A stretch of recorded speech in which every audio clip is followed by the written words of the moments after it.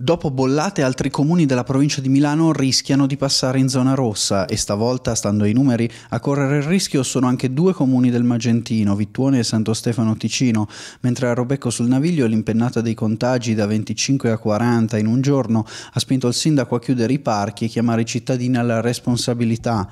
All'ospedale Fornaroli di Magenta nell'ultima settimana ci sono stati 31 ricoveri per Covid, di cui 18 solo nel weekend. A Vittuone la situazione è più grave grave, tanto che il sindaco Laura Bonfadini ha lanciato un appello ai suoi concittadini. In questi giorni il numero di contagi a Vittuone è salito drasticamente. Dai 32 casi di ieri di positività al Covid-19 al dato odierno di oggi di 43 nostri residenti infetti.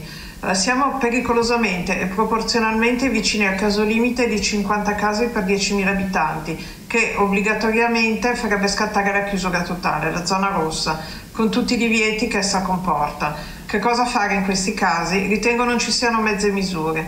Occorre autoresponsabilizzarsi e adeguare i propri comportamenti alle regole dei protocolli anti-Covid.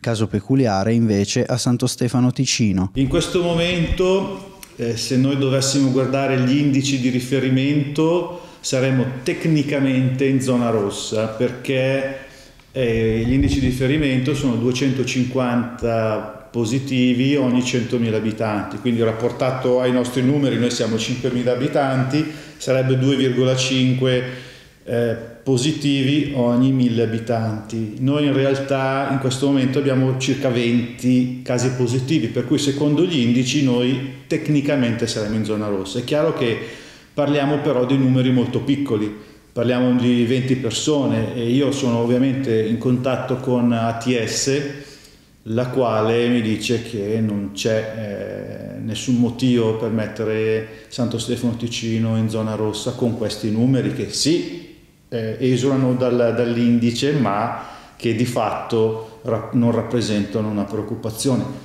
Quello di cui dobbiamo stare tutti attenti e che veramente rappresenta una preoccupazione è l'aumento generale dei numeri ca- dei casi positivi, non a Santo Stefano ma in Lombardia.